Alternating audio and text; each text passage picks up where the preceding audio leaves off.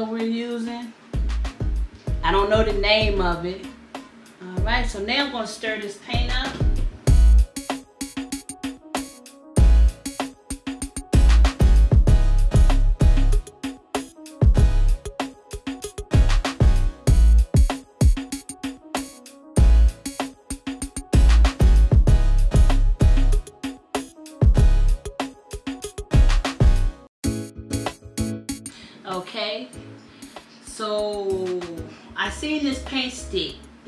twist.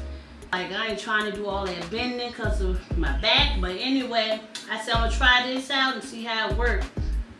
And so I'm gonna let y'all see how it works also, just in case. If it's good, I'm sticking with it. It said you don't need no tray, you don't need no dripping pan, and it says it's no mess. And I'm gonna see how fast we can do it because it said we can, you know, paint in no time. So here we go. Get this piece, which goes in the paint bucket. It just clips on the paint bucket. And you get the roller, you got the thing on the back. I'm not reading no instructions. I looked on YouTube and see how it worked. I don't have time for reading no instructions. Well, it's not I don't have time. I don't have patience in reading those instructions. So, yeah. And, it's supposed to came with some, supposed to came with some lubricant. But I don't see the lubricant in here. Maybe it's wrapped up in the instructions. Oh, the lubricant was in the, in the instructions. And it comes with this lubricant, okay? So it says you put the lubricant right on this tip here. Put some there. And it said just stick it in the inside here just like that. So the paint won't come out. So what I'm doing. Then they say this. Put it down in the bucket. Take this piece, go there, push down on there like that. And then unlock it, you twist it, the paint should come in the bucket. Say if it don't come up that first time, push it back in, and then you come back up and it should come. Okay, let's try it again. Something ain't right.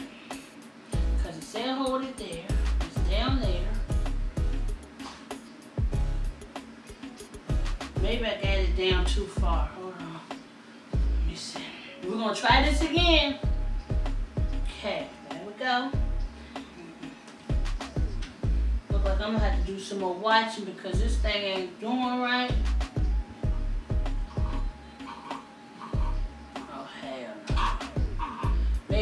Read the instructions because this is not working.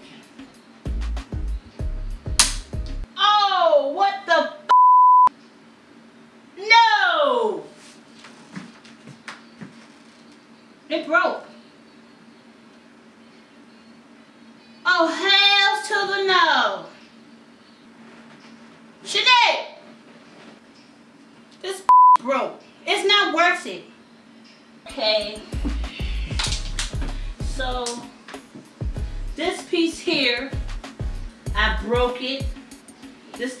Goes in the paint and supposed to hook it to the paintbrush and suck it up through, the paint sucks up through it.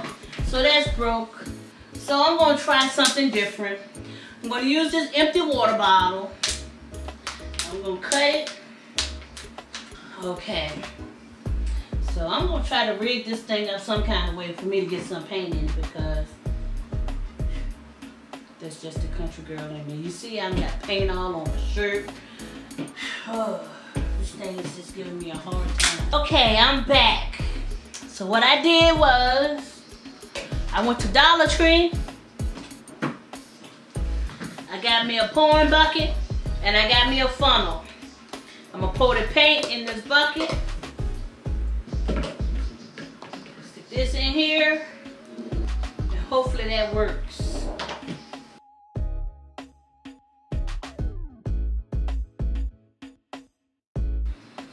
See if this works.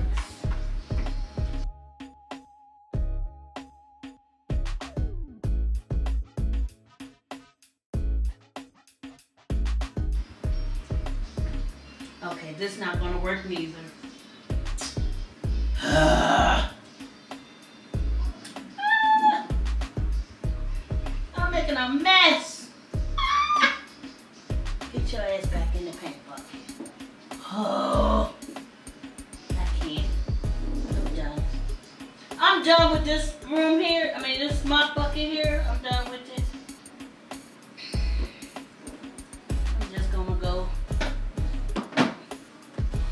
Old school with this shit. Okay, I'm gonna try this other way and see if I can work it that way. Cause this piece gotta come off some kind of way.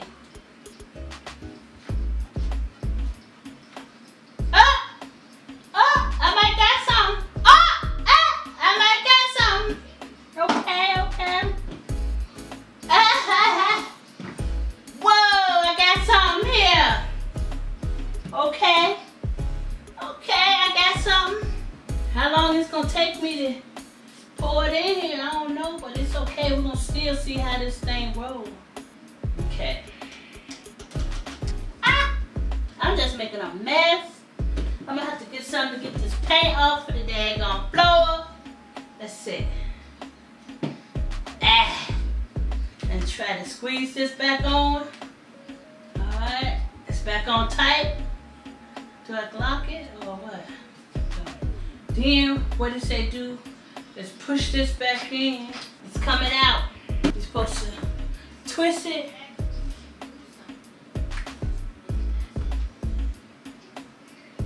Push it until you push it all down. And says some paint will come out the bubbles there. Oh. Me turn this guard this way. I push it, this was coming out. Now through the bubbles.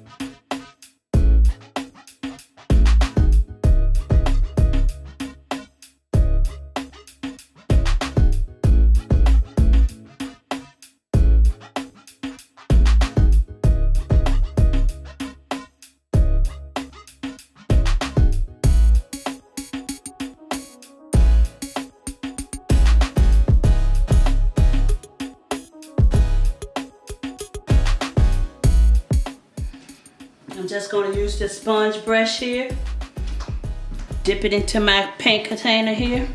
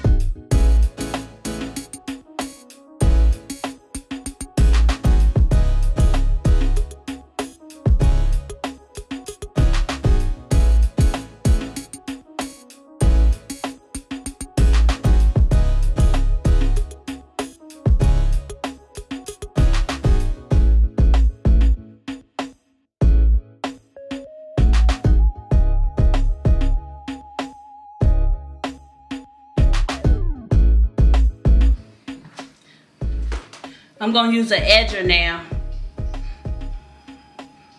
for that top up there to edge it.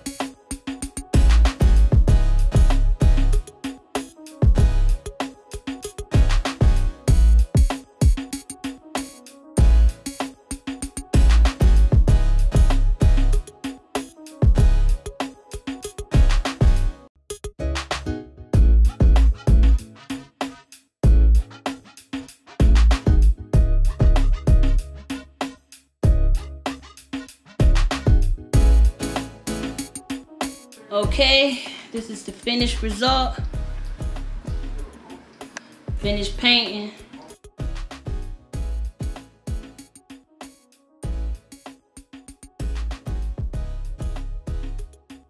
It's gotta dry. Then I'll tell tomorrow if I need to go back over it, but I don't think I do. That side over there is finished.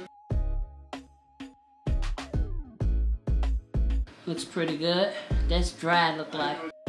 And I only went over it once. So hopefully this side